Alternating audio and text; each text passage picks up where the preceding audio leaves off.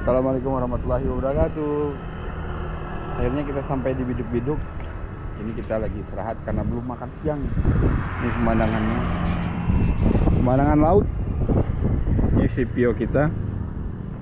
Pio kita. Istriku lagi masak. Dedeng dedeng.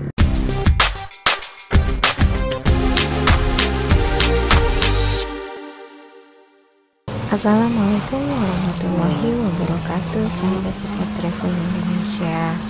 Setelah kita bermain lumpur Karena emang ada jalan setelah sawit itu Jalannya emang jelek. Tapi alhamdulillahnya ada yang nolong kita. Akhirnya kita bisa lolos Walaupun dengan kondisi harus ditarik. Setelah itu kita jalan keluar dan ternyata nggak jauh dari situ ada sungai. Sungainya jernih banget dan karena bening banget airnya. dulu beberapa kali kita lewat sini itu kita selalu lewat malam lewatnya malam. Jadi kita nggak pernah lihat ada ternyata di sini tuh ada sungai. Yang airnya tuh jernih banget dan itu posisinya benar-benar di pinggir jalan airnya juga bisa kebilang deras makanya kita menepi kita mandi-mandi dulu Assalamualaikum warahmatullahi wabarakatuh. Akhirnya kita sampai di biduk-biduk. Ini kita lagi istirahat karena belum makan siang. Ini pemandangannya. Pemandangan laut. Ini si Pio kita. Pio kita. Istriku lagi masak. Dedeng dedeng. Masak, masak apa? Belum tahu deh masak apa ini bingung saya. Sahabat suka traveling Indonesia, lautnya itu beda warna. Eh, goreng telur lagi. Dadar telur lagi kita. Oke. Iya. Ikutin terus perjalanan kami sampai Kelamin Guntur masih satu setengah jam lagi. Tapi mau makan dulu kelaparan ini. Si kecil kita, ini kondisi kabin kita nih berantakan. Si kecil kita bobo. Nih, saya sudah selesai.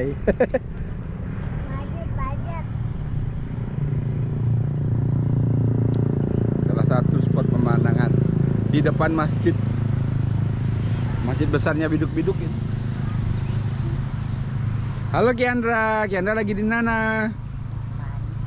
Oh, oh lagi di rumah.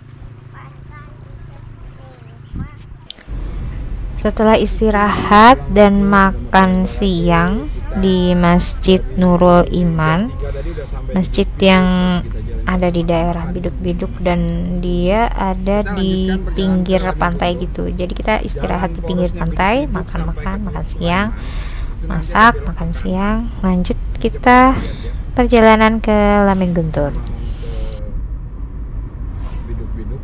Ini sepanjang jalan ini kirinya ini pantai nih, laut biru.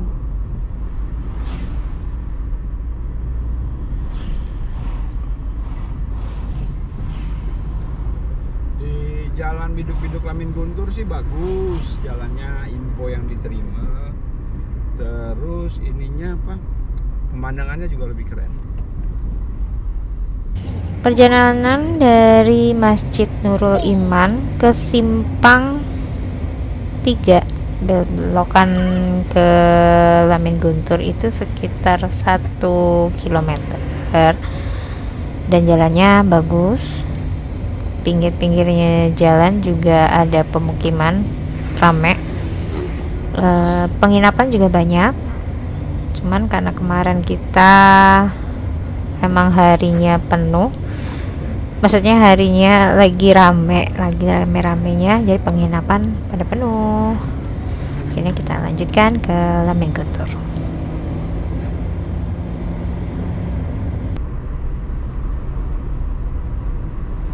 Di ujung jalan ini itu Teluk Sulaiman dermaga untuk penyeberangan ke Pulau Kanyungan besar Kiandra ya. Oke. Dikasih tahu ini dengan Kiandra. Biar Kiandra tahu.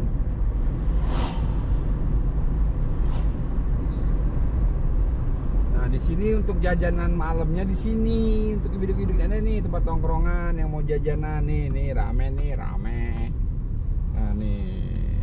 Sepanjang jalan ini jajanan semua ini. Nasi goreng, gorengan, ayam Kentucky. Ya, giring-giring. Ya. Giring. Giring-giring.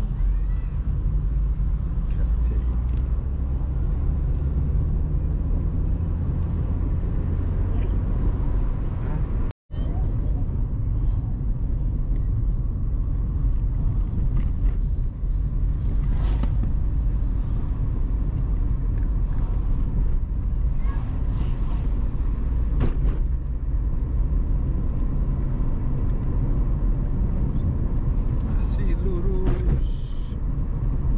Masih lurus saja Kiandra. Nah, itu ada pelang. Pelang itu ke kanan. Teluk Sumbang. Itu Lamin Guntur itu kalau kita cari ada, cuma jalan tidak ada. Kita jalan ke Teluk Sumbang. Nah, ini jalan mudah-mudah. Bismillahirrahmanirrahim.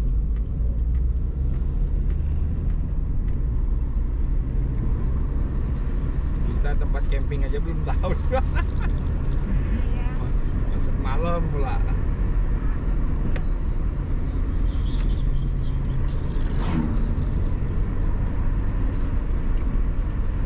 Bayangan sih ada, cuma toiletnya nggak ada.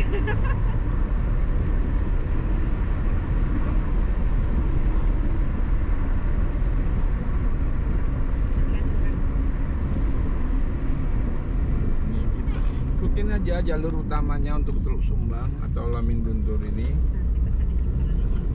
Pokoknya ke jalan Simpang juga ke kiri-kiri aja. Ya, enggak ada yang ke kanan. Ada nggak? Ada, ada yang ke kanan, ada yang lurus. Kalau nggak salah simpangan pertama ke kanan. Terus nanti ada simpangan lagi. Jalurnya aja lihat jalur ini. Ini aja katanya rute ini aja.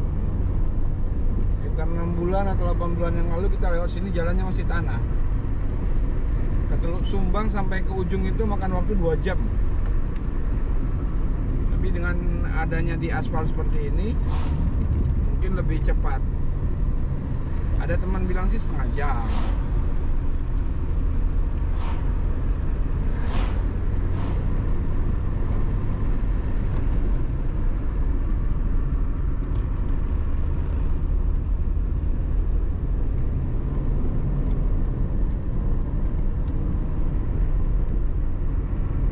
Iya. Ini ada masjid, masjid tua. Ini ada muda. Ya, jelek lagi. Ih, keren ini. Ini Laguna sayang kayak kayak Ya, kayak lagunya.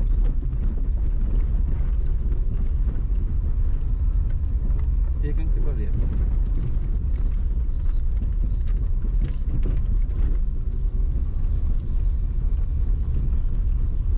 Tapi tidak bisa mandi. Ya, nggak bisa. Kayak dalam.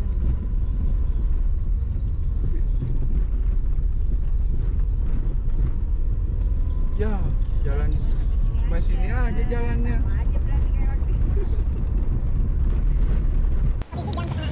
Jalan dari Biduk-Biduk ke Teluk Sumbang itu mas ada yang bagus, ada yang juga yang masih pengerasan. Tapi kalau dibandingin sama perjalanan kita beberapa bulan yang lalu udah banyak yang bagus sih. Udah mulai di aspal beberapa bagian. Dan jalan ke Lamin Guntur ini memang masih hutan-hutan kanan kiri hutan. Dan di beberapa tempat kita juga masih ketemu sama monyet-monyet yang nyari makan di pinggir jalan. Jadi hati-hati aja. Dan ada beberapa juga jalan yang ya rusak parah? Enggak sih ya. Cuman masih kerikil gitu. Jadi jadi ya harus hati-hati aja jalannya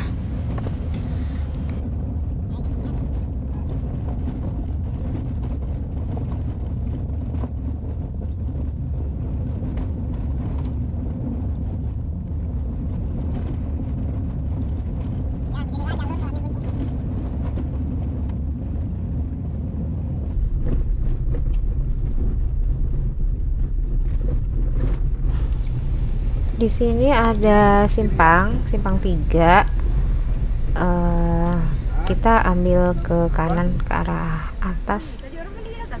Tapi Iya. di sini jalannya kelihatan kok. Jadi mana yang jalan utama mana yang jalan kecilnya kelihatan. Jadi masih aman kalau di simpang yang ini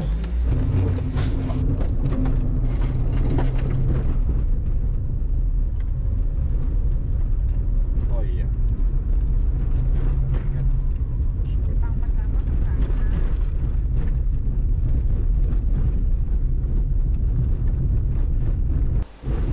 Nggak jauh dari simpangan pertama tadi ada simpangan kedua. Di simpangan kedua ini kita ambil kiri. Simpang dan jalan masih kelihatan jelas ya mana jalan utama dan mana jalan kecil. Kalau beberapa bulan yang lalu itu benar-benar gak kelihatan mana jalan utamanya mana jalan simpangannya.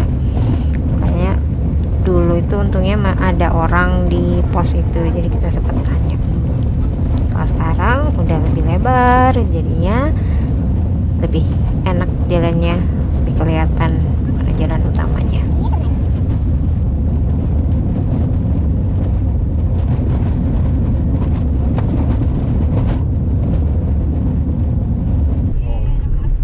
Aspal lagi. Oh, oh, oh, oh, gaspol lagi. Bisa bernafas lagi. Bisa ngetel lagi.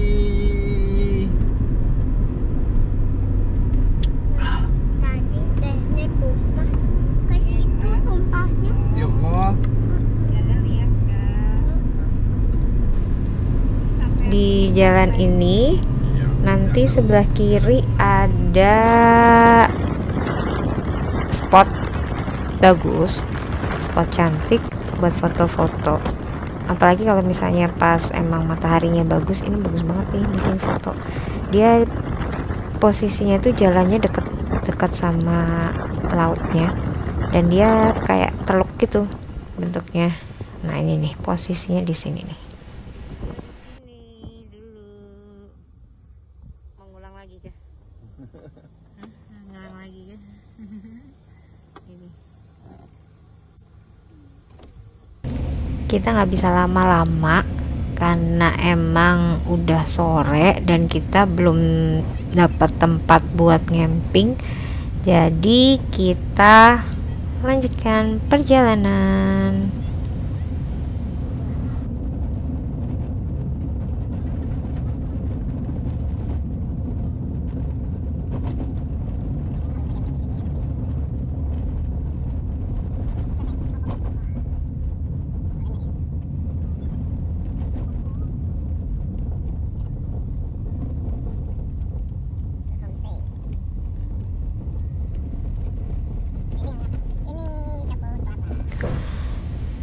Tadinya ini jadi salah satu tempat camping inceran kita.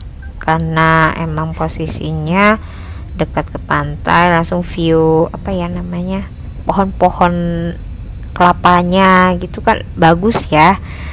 Terus kenapa nggak jadi di sini? Karena emang gak ada kamar mandi air juga susah. Makanya kita lanjutkan ke Lamin Guntur. Alhamdulillah jam 6 kita masuk Lamin Guntur. Kita boleh ngamping Eh, saksikan terus keseruan video kami keluarga Suka Traveling Indonesia. Jangan lupa like, comment, and share video kita. Wassalamualaikum warahmatullahi wabarakatuh